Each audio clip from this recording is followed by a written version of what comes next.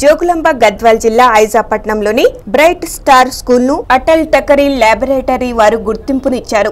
దేశవ్యాప్తంగా కొన్ని స్కూళ్ళకు ప్రత్యేకంగా త్రీ ప్రింటర్ రోబోటిక్ సైన్స్ టెక్నాలజీని అందిస్తున్నారు. పిల్లల్లో దాగి ఉన్న సృజనాత్మకతను కొత్త సాంకేతిక ఆవిష్కరణను నూతన అన్వేషణ విద్యార్థులలో కలిగించి రాబోయే రోజులలో దేశానికి సైంటిస్టులుగా తీర్చిదిద్దుతామని నిర్వాహకులు తెలిపారు. ఈ ప్రాజెక్టులో ఐజా బ్రైట్ స్టార్ స్కూల్ను సెలెక్ట్ చేయడం జిల్లాకే గర్వకారణమని మేడం ఎస్ఐ రమ్మ తెలిపారు. అది కూడా మనం చేద్దాం ఇప్పుడు?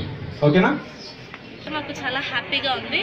అండ్ మా స్కూల్ నుంచి చాలామంది జూనియర్ సైంటిస్ట్ వస్తారని ఎంతో ఆశిస్తున్నాము నెక్స్ట్ ఇంకా మేము ఇది కొత్త కొత్త ఇన్నోవేషన్స్ ఎప్పుడెప్పుడు చేస్తామన్న క్యూరియాసిటీతో ఉన్నాం Especially, I'm very thankful to our headmistress uh, J.P. Estarani ma'am and our guide teacher Miss uh, Divya Jyoti ma'am. I'm feeling very proud to have this lab in our school. In next year, we will do many inventions in this lab.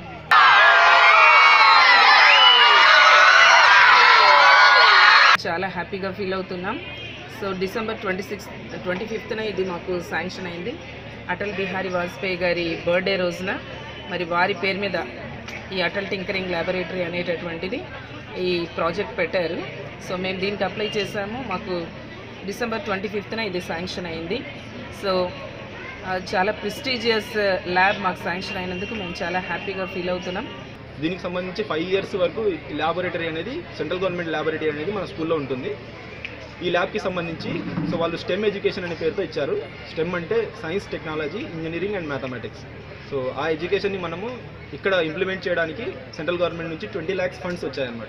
ఈ twenty lakhs funds five years వరకు మనకి కా- స్కూల్కి ఇవ్వడం జరుగుతుంది. First ఇయర్లో మనకి twelve lakhs funds వస్తాయి. నెక్స్ట్ అకాడమిక్ ఇయర్ లోపు మన బ్రై- బ్రైట్ స్టార్ ఇంగ్లీష్ మీడియం స్కూల్లో సో ప్రిన్సిపల్ మేడం గారి ఆధ్వర్యంలో మనకి ల్యాబ్ అనేది ఇన్స్టాల్ చేయడం జరుగుతుంది.